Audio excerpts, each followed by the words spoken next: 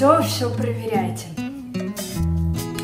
И э, теперь э, я, это будет больше интерактивное такое мое вещание, да, я буду вам вставлять э, картинки, и мы разберем э, речевые клише, которые вы можете использовать при написании итогового сочинения, а также некоторые вам пригодятся для написания сочинений ЕГЭ. Поехали!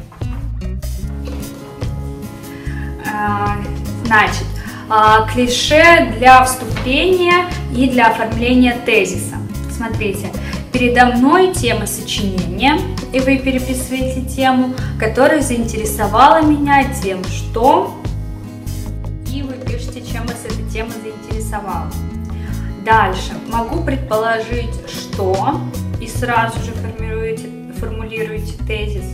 И позволю себе высказать свою точку зрения наиболее выигрышно начинать чаще всего от чего-то общего, да, то есть э, посмотреть из какого общего направления взята тема, начать вот с этого общего направления, там, разум, да, как он влияет на ход нашей жизни, и потом вот э, уже перейти, э, могу предположить, что, и дальше прямо вы практически переписываете тему, и развивайте мысли. Дальше, как мы переходим к основной части. В правильности такой точки зрения меня убеждает художественная литература. Хорошая фраза, стоит запомнить.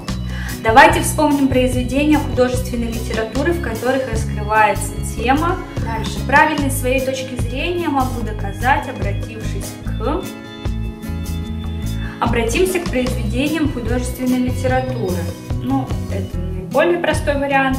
За примерами давайте обратимся к произведениям художественной литературы. Похоже, размышляя о, например, чувстве долга, об отношении к поражению, да, я не могу не обратиться к произведению, называйте автора, в котором, и вот вы замечательно перешли. Внутри основной части, как перейти от первого аргумента ко второму. Можно вспомнить и другое произведение, в котором тоже говорится или поднимается вопрос о том, что и, в принципе, вы повторяете э, опять тезис, да, но лучше перефразировать его.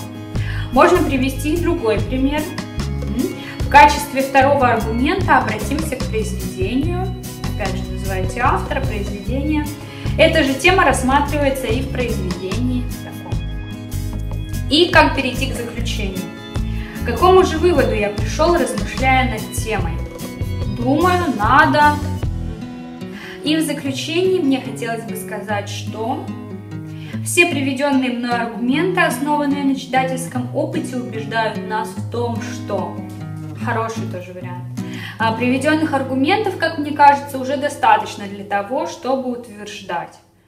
Ну, как я советую, опять же, своим ученикам, вот как мне кажется, как я думаю, или как все считают, вот эти вводные конструкции не стоит часто употреблять, потому что мы не можем отвечать за всех, и опять, как вам кажется, кто-то придерется, что вот, а мне так не кажется, то есть, ну, старайтесь, ну, как я рекомендую, старайтесь обходить такие фразы. Заканчивая рассуждение на тему, нельзя не сказать, что люди должны ну, можно здесь перефразировать, что людям стоит. Да? Кто-то, опять же, может придраться и сказать, что мы никому ничего не должны. Обобщая сказанное, хочу сказать, что ну, это наиболее простой вариант. А, и обратите внимание на то, чтобы заключение не повторяло вступление. Даже э, если вы теми же самыми словами написали в заключении то, что уже было написано во вступлении, то могут это засчитать не совсем как а, композиционно правильно выстроенное произведение, а этому, для этого есть отдельный критерий. Во втором видео мы это рассматривали, да, критерий композиционной стройности, композиционной выстроенности. Поэтому смотрите, чтобы все-таки было логично. То есть во вступлении вы идете от общего, переходите к вашей теме, затем в аргументах доказываете, что вот это именно так, кто так поступал. и э, в выводе уже даете заключение, то есть э, из общей точки зрения и частное подчеркиваете. И в этом видео я хочу вам дать первое домашнее задание, чтобы все знания не остались только в этом видео у меня на бумажке, чтобы вы потренировались.